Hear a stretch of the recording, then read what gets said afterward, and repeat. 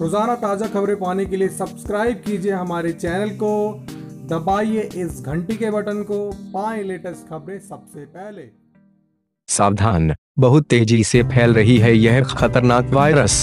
जान ले, वरना पछताओगे। ओरिजिनल नमस्कार दोस्तों, हमारे चैनल में आपका स्वागत है। अगर आपने अभी तक हमारे चैनल को फॉलो नहीं किया है तो ऊपर दिए गए पीले रंग के फॉलो बटन को दबा दें। आज भारत में वायरस काफ़ी तेज़ी से फैल रही है, जिसका नाम निपाह वायरस है। केरल में इस वायरस से तीन लोगों की मौत हो चुकी है, जिसके कारण इस वायरस से सुरक्षित रहने के लिए बुखार से पीड़ितों की निगरानी बढ़ा दी गई है। इस वायरस के बारे में अधिकतर लोग नहीं जानते, इसलिए आज हम आपको इस वायरस के बारे में बताने जा रहे हैं कि यह कैसे फैलता है और इसके लक्षण क्या है? साथ ही इस वायरस से बचाव क्या है? हम आपको इस पोस्ट में बताने जा रहे हैं कैसे फैलता है यह वायरस। चमगादड़ों से फैलता है जो अगर किसी फल को खाता है तो वह फल नीचे गिरता है, जिसे कोई पशु जैसे सुअर खाता है या पक्षी खाए तो वह पक्षी और सुअर इस वायरस के संक्रमण में आ जाते हैं, जिसके कारण सुअर के संपर्क में आने से इंसानों में यह वायरस फैलने लगता है। आप ऊपर दिए गए तस्वीर में अच्छे से समझ सकते हैं निपाह वायरस के लक्षण क्या है। जब इस वायरस से कोई व्यक्ति संक्रमित होता है तो उसे चक्कर आने लगता है, तेज दिमागी बुखार होता है, साथ ही आँखों से धुंधला दिखाई देता है। सांस लेने में तकलीफ़ और सिर में लगातार दर्द होते रहता है। अगर आपको भी अपने शरीर में ऐसे लक्षण नज़र आए तो तुरंत डॉक्टर से यह बात बताएँ और जाँच करवाएँ।